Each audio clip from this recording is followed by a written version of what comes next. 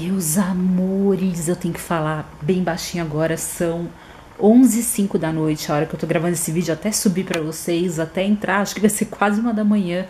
Gente, eu já gravei três vídeos hoje no canal, tô partindo por quarto agora, porque bomba, a Virgínia não para de causar ou não param de causar com ela, já nem sei mais, colegas, mas eu não poderia esperar até amanhã para postar esse vídeo para vocês, mesmo estando, nossa, gente, eu tava assistindo agora uma série na Netflix, A Maldição da Mansão Bly, e tá muito legal. Assisti o primeiro episódio, eu falei, vou descansar um pouquinho, né? Porque eu trabalhei muito hoje. E já veio bomba da Virgininha, La Madre Milagrosa. Falei, não, tem que contar pro meu time de FBI Rosa. Porque vocês são tudo para mim, cara. Vocês são tudo para mim. Eu sempre falo aqui e vou repetir sempre. Vocês são meus melhores amigos. Entendam isso. Só minha opinião importa. Só joguei. Mas vocês são meus melhores amigos. E o meu comprometimento com vocês vem acima de tudo, sabe? Eu trazer as notícias em primeira mão para vocês, para mim vem acima de tudo. Então não importa o horário, não importa que é sábado, não importa que a gente tá no meio de um feriado, eu vou estar tá aqui com vocês. Gente, o negócio é o seguinte, Virgininha respondeu Erlan Bastos. Vocês sabem, né, tudo que tá acontecendo, até fiz vídeo hoje no canal, fiz vídeo ontem, contando para vocês, e esse é o meu trabalho, gente, o meu trabalho é repassar as notícias para vocês. Claro que eu já falei que eu não concordo com o Erlan Bastos, gente, não é porque eu tô pondo uma notícia aqui que eu estou concordando com ele, eu deixo claro em todos os vídeos que eu não concordo com ele, com a atitude dele, mas meu trabalho é contar o que tá acontecendo, gente. E agora a Virgínia respondeu ele. Ela não citou o nome dele, mas é nítido que ela respondeu Erlan Bastos, gente, é Tipo, é nítido, sabe? Porque quem que tá falando dela? O Erlan. Quem que tá falando que ela ganhou dinheiro para engravidar do Zé Felipe? O Erlan. Quem que tá falando que ela tá fazendo isso tudo por dinheiro? O Erlan. Quem que tá falando que o namoro deles é fake? O Erlan. Então, assim, ela respondeu, ela postou uns stories que eu vou ler para vocês, gente, mas falando sobre isso, que ela não precisa disso e tudo mais. E aí o Erlan ficou revoltado. Gente, desculpem a luz se não tá boa, tá? Essa hora é aquele videozinho da noite, vai sem edição mesmo, só pra gente conversar, aquele papo de amigos, pra gente tricotar rosa aqui no meu sofá, então ignorem. E aí o Erlan ficou revoltado, gente, olha. Tá pesada, a briga tá pesada. Eu vou jogar pra vocês primeiro o que a Virginia falou, vou ler com vocês e depois eu vou postar a parte do Erlan. Joga.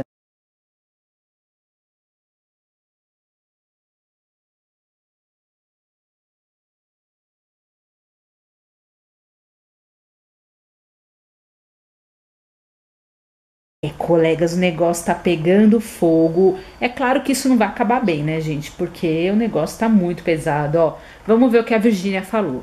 Fico online no Insta 24 horas por dia.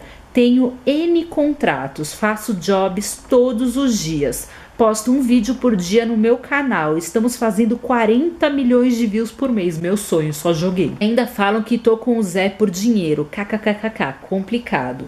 Mas nós mulheres, infelizmente, já sabemos lidar com isso, né? Queria mesmo colocar minha bunda para cima e o Zé me bancar, seria o máximo, mas estamos juntos para crescer juntos.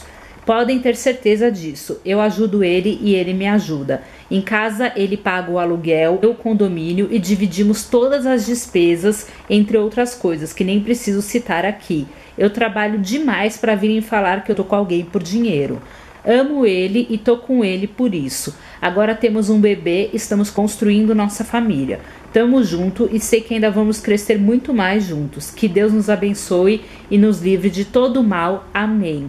Não foi planejada a gravidez, mas agora está sendo tudo planejado para te receber filho ou filha. Gravidez não é brincadeira, então parem de tratar como se fosse. É uma vida e ser mãe é uma dádiva de Deus. Dane-se lipo, depois desses vão vir mais. Se Deus quiser e quando eu não quiser mais beber, eu faço outra lipo se precisar e fim, né? Porque as pessoas estão falando muito da questão da lipo, da Virgínia e tudo mais. Gente, acho que a Virgínia falou tudo, assim, realmente, né? As pessoas adoram menosprezar a mulher e como se a mulher precisasse de dinheiro do homem. Eu até fiz um vídeo no canal pra vocês, acho que foi anteontem, se eu não me engano, falando da Jade Picon, que passou por algo, né, menor, mas parecido porque falaram que o João Guilherme tinha pago a viagem dela para Maldivas e ela falou: Meus filhos, eu trabalho desde cedo, eu sou independente financeiramente, eu tenho meus negócios, tudo. Eu paguei minha viagem, sabe? Eu não dependo de homem para nada.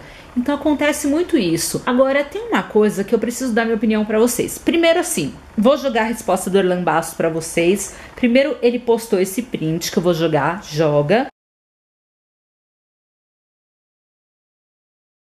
O que ele falou? Menina cara de pau, que fez até deboche falando de gravidez, enganou o próprio público falando de lipo HD e quer usar feminismo para se vitimizar. Putz. Eita, que o Orlando tá falando que a Virgínia tá enganando todos nós, colegas. Será que estamos com cara de palhaço? Não sei. Mas vamos jogar também o que ele falou. Joga. Gente, falar um negócio para vocês aqui. A, a, gente que trabalha com, com, com jornalismo de celebridade. E tem gente que gosta e gente que não gosta, obviamente, como tudo na vida. Né? Tem gente que gosta e que não gosta. Ninguém é obrigado a gostar de mim. Ninguém é obrigado a acreditar em mim. Sabe? Assim, ninguém, ah, contou. Acredita quem quer, é simples. Não existe várias teorias no mundo. Tem gente que acha que a Terra até é plana. Pois é, acredita quem quer, certo?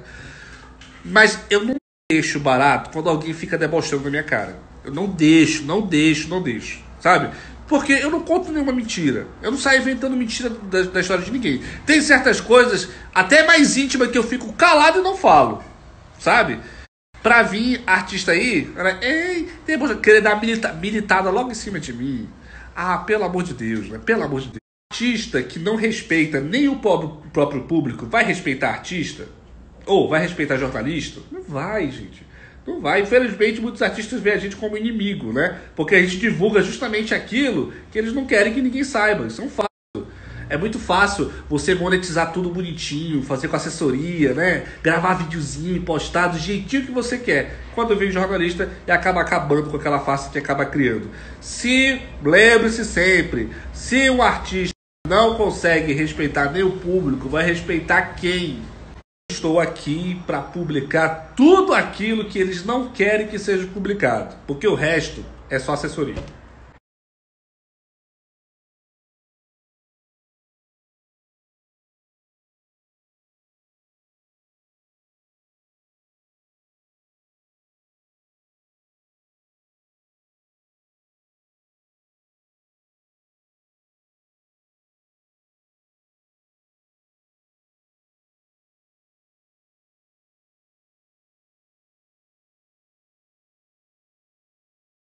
É, gente, tá muito complicada essa história, tá virando uma guerra mesmo. Agora, uma coisa, eu vou dar minha opinião numa coisa só, que eu não consigo entender. Se é tudo mentira do Erlan, né? Se a Virgínia realmente tá falando a verdade, o Erlan tá mentindo, por que, que a Virgínia não processa o Erlan Basto, gente? Não a Virgínia só, o Zé Felipe também.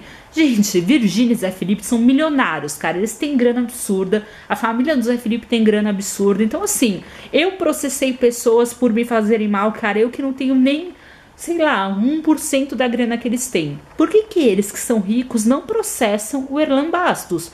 Aí muita gente está falando que o Erlan não está citando o nome deles, realmente ele não cita os nomes.